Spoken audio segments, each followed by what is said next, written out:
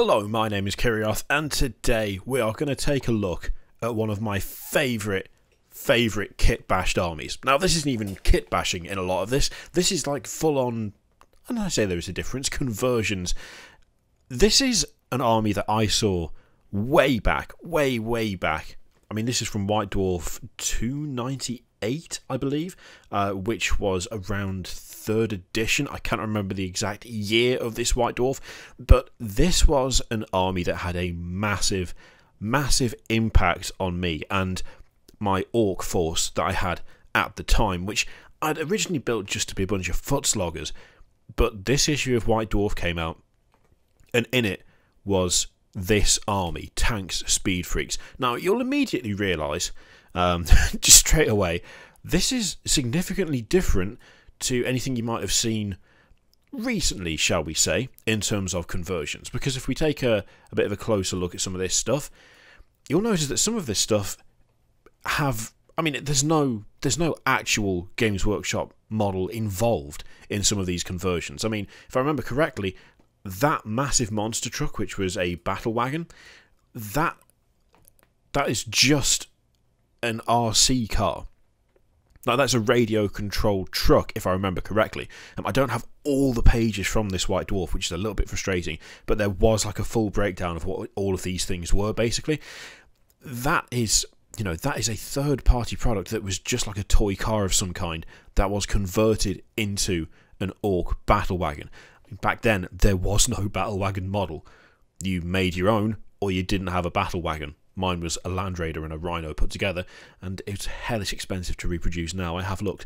Um, and I mean, the same goes for all of these different vehicles.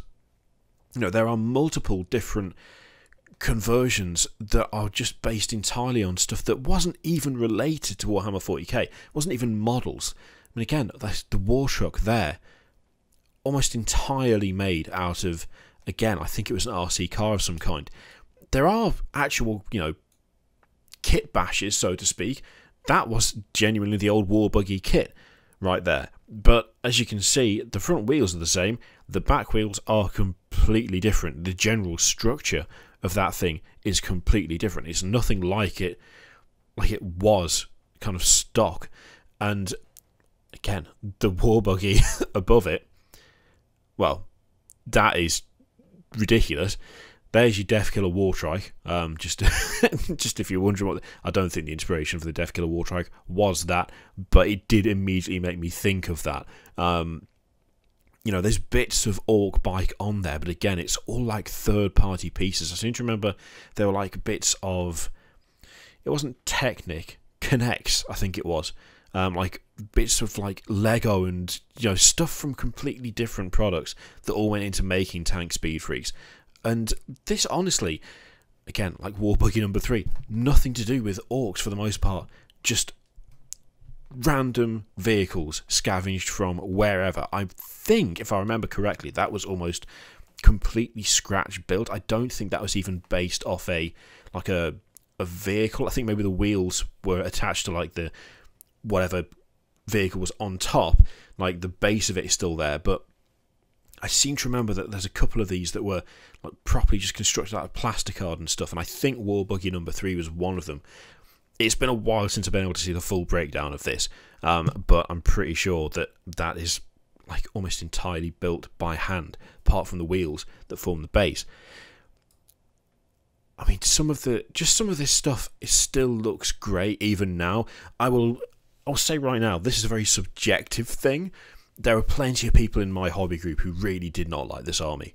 Um, well, I remember one guy just kept referring to the dude who built this as the Tonka toy guy, which you know he he was not he was not particularly a fan of it, but just for sheer inventiveness and for like like the scope of it, the ambition of it, it really struck a massive chord with me. You'll notice that there are like complete inconsistencies in terms of some stuff. So that war truck is massive.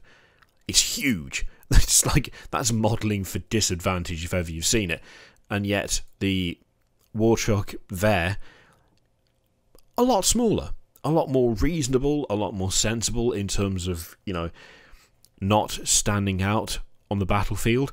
Um, in fact, they're all completely different sizes. The the two war trucks on uh, on the right and the left there um, are almost battle wagon size. I mean, the battle wagon is massive, but those war trucks are not that far off. Whereas the war truck in the centre is considerably smaller. Again, I think that was mostly scratch built. That thing, apart from the uh, the base with the wheels, and it wasn't just like the hated death copters everywhere. Um, it wasn't just the uh, it wasn't just the the vehicles that I really liked. It wasn't just the vehicles that stood out to me either.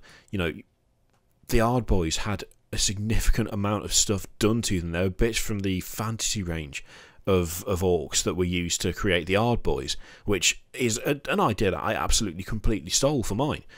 You know, I, for the Ardboys, I took bits of armor from other kits. I took bits of armor from like a friend of mine had a couple of uh, boxes like random fantasy crap that they'd never got around to using, and that was scavenged heavily to to make my ork army, almost entirely based off not even not even this specific force. Like my army didn't look like this army, but this was like a major driving thing in terms of oh, I. It's not just the color scheme. You can make this look exactly how you want it to look. You can do whatever you like with it. Not only can you do whatever you like with it, but it's appreciated enough that you will see it in White Dwarf. I mean, you know, this is this was the official Games Workshop publication, still is. Whether you'd see something like this in today's, I doubt, because there is a severe lack of actual Games Workshop product in a good amount of this army. I mean, a lot of the vehicles are just nothing to do with GW at all. But in terms of inventiveness, in terms of building a, like a proper theme, I mean, I completely nicked Warboss tank as well. Like my my Warboss again, it used it used Ghazghkull, but it was heavily messed with. It was heavily converted, and it was based on this because this gave me the, I guess, the drive to try and do something. Mine wasn't quite as ambitious as this. Um, I really wish I had some photos of it actually, but it was still this is like a, a, formative thing in terms of the hobby for me because no one in my group tried stuff like this. No one in my in my like in my little hobby group based out of the little local gaming store we had tried anything of this scope. There might be like the occasional head swap or you know a bit of an unconventional weapon going on here and there you know a couple of counts as examples but there was nothing on this scale. There's nothing of this scope. Like the storm boys that genuinely kind of it blew me away the first time I saw that because I didn't like the way most flying things looked. I didn't like the poses that a lot of people went for, like the the plastic flying bases, the clear ones. Just never did anything for me. And then along came this with the like the the insane sculpted smoke out of the jetpacks was something that I'd never even thought about doing. I attempted it. It looked terrible. I was not I didn't have the skill required to pull that off at all but it was at least something that gave me the idea to try, and that's something that I hadn't thought about up until that point. Even the poses on them, I believe, were like heavily messed with and modified. I'm pretty sure that they weren't posed like out of the box the way they uh, the way they are for that. Although to be honest, that, that could be wrong. I don't know whether the Storm Boys have had a new kit since I had some uh, in third it's orks, so they may well not have done. Um, but yeah, it, there's just so many bits of this army. I mean, the most the most stock things on here are you know the infantry, the death copters. Even the death copters have got bits on them that have been changed. Um, it was it's like a properly formative experience. This looking at this army, uh, even down to things like the paint scheme, something that um, was very common in my gaming group trying to find a good yeah there's a good example. Um, it's something that was very common in my gaming group amongst other players who had ork armies was this very dark green and this very shiny green. It was it was like it was very kind of it looked like oiled skin as opposed to like being textured and I never really liked it. I never liked how kind of smooth and shiny it looked, but everyone in my gaming group painted their orks the same way. They all painted them like that. And then this army showed up in White Dwarf and there was there was texture and like the definition was different on the skin. It looked different to anything that I'd seen in person at that point. there are certain things that I didn't like about it. Like, for instance, I liked some of the colours used, but I didn't like the whole face coverage on some of them. Um, I was not a big fan of like the banners on the Scar Boys. When I made my Scar Boys, I went mental with green stuff, so they all had like massive scars across their faces, they had scars across their arms and stuff. They were very distinctive just because they looked like they'd been beaten to hell as opposed to using like the uh, the kind of I guess like the the banner system that was in Tank Speed Freeks but yeah, I I just wanted to share this specific army with you because this is, as I say, like it was like a formative thing of not knowing how far you could push it, not really having a clear understanding as to just what you could do in terms of converting, in terms of kit bashing, in terms of even in terms of like just the smallest thing of painting ork skin. Everything was done a certain way in my hobby group. And so seeing this that's what sparked like all of that stuff about like fully converting stuff. My own Warriors army that I had at the time was very standard. After I saw this, that changed a lot. I did a lot of like kit bashes and conversions just to make it more my own. And I'm not going to say that without without tank Speed Freeks, you know, I wouldn't be as into kit bashing and converting as I am, but it is definitely something that fully kick-started that I like that idea and that passion for the hobby.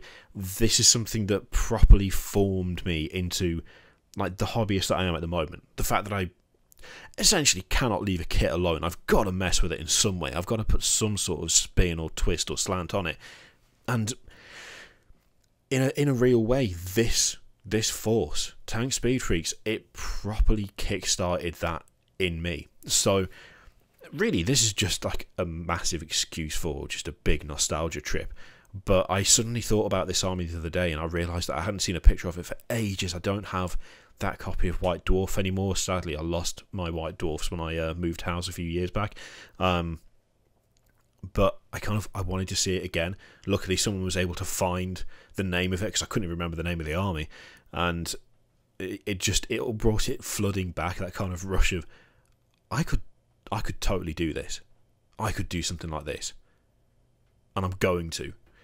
I don't think you get that. That's like not a once in a lifetime thing, but it's rare. It's rare something like kickstarts you that much that you immediately want to go and start messing with your stuff this very second. But that this army did that for me. Is there any particular army, any force, any like kit bashed or converted character or or you know whether it's 40k or fantasy or even Battlefleet Gothic or something, is there some force that you saw that like massively inspired you to try and do something yourself? And if so, what was it? Let me know in the comments down below. And uh, yeah, I hope you like this as much as I still do. It's it's it feels a little bit like a relic of its time in a way because I just don't know that you'd even see something like this in White Dwarf anymore. Just because there's so much in the way of non Games Workshop stuff in there you know, there's like one vehicle in there that is actually Games Workshop. Well, technically, technically more than that, because the the fighter bomber and the uh, Deffcopters are obviously Games Workshop. But in terms of ground vehicles, the war buggies, for the most part, you know, you've got you've got one war buggy that has got a Games Workshop chassis and one that's got an Ork bike on the front of it. The war trucks aren't. The battle wagon isn't. It's it's a properly it's a properly brilliant force. This like the execution of it, the way it's been put together, the theme of it. I think genuinely one of my all-time favorite armies. Anyway, thank you very much for watching. Uh, let me know what you think of this awesome ork speed freak force in the comments down below. And uh, in the meantime, feel free to click any of the stuff you see on the screen, Patreon, subscribe videos, all that stuff. Click it if you like. Don't click if you don't want to and I'll see you for the next one. Toodaloo.